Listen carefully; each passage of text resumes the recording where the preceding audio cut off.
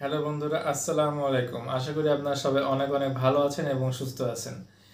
আজকে আমি একটা নতুন টপিক নিয়ে আলোচনা করব, সেটা হলো হচ্ছে ইন্ডিয়ান এম্বাসিতে কি কি ধরনের প্রশ্ন জিজ্ঞেস করে।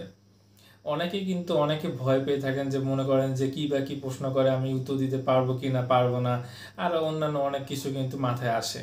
অনেকে ভয়ও পান যে কি হয়, না হয়। একদম বন্ধুরা, এই বিষয়ে কোনো ভয় পাওয়ার কিছু নেই, কারণ এটা একদম ইজি বিষয়। আর আপনাকে খুবই নর্মাল প্রশ্ন করবে। এমন কোনো প্রশ্ন করবে না যেন আপনার বিভ্রান্তিতে পড়েছেন। জাস্ট নর্মাল প্রশ্ন করবে।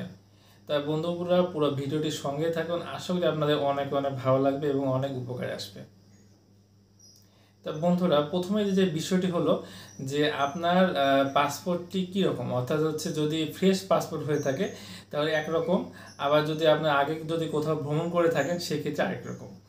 যদি ধরুন যে, আপনার পাসপোর্ট ফ্রেশ পাসপোর্ট, আপনি কোথাও একবার নতুন পাসপোর্ট করেছেন, এখন আপনি ভিসা লাগাতে গেছেন ওখানে।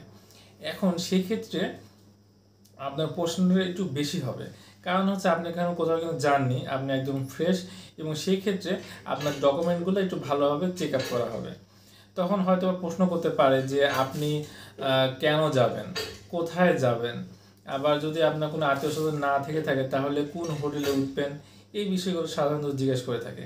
আবার জিজ্ঞেস করতে পারে যে আপনি হচ্ছে কয়দিন মানে এই রিসেন্ট কি যাবেন নাকি আরও অনেক দিন পর যাবেন?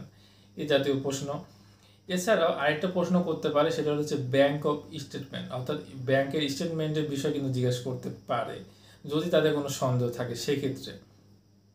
আর আরেকটা বিষয় হলো বন্ধুরা যে যদি আপনার ডলার এন্ডোজ করা থাকে, তাহলে কোথা থেকে ডলার এন্ডোজ করছেন সেই বিষয়ে একটু জিজ্ঞেস করতে পারে, নাও করতে পারে। আর আরেকটা বিষয় হলো বন্ধুরা, যে আপনি যদি পেশা যদি স্টুডেন্ট হয়ে থাকেন, তাহলে কোন ভার্সিটিতে কিংবা কোন স্কুল কলেজে পড়াশোনা করছেন সেই বিষয়ে তারা জিজ্ঞেস করবে কিংবা হয়তো বা তাদের আপনার আইডি কার্ড দেখে জাস্ট এই তো আর কি।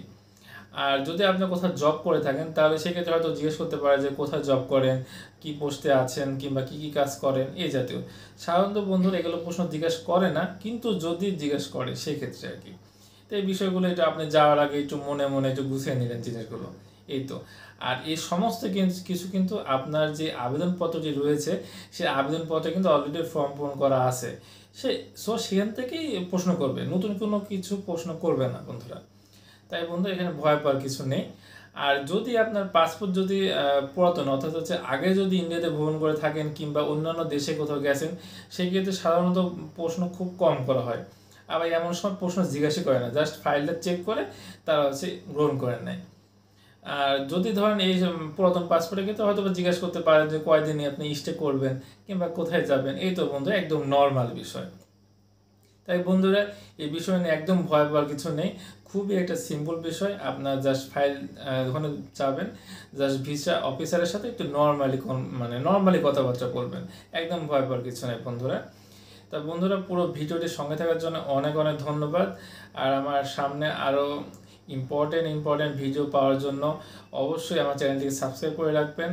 আর সবাই ভালো থাকবেন, সুস্থ থাকবেন। আসসালামু আলাইকুম।